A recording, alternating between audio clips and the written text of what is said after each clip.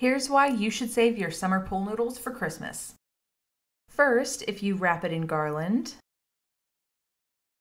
hot glue on some ribbon,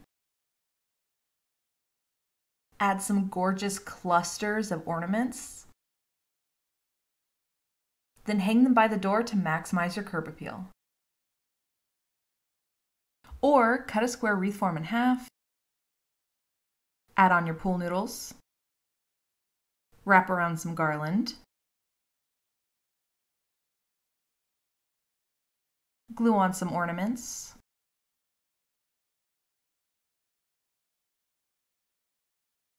for some gorgeous little door corners.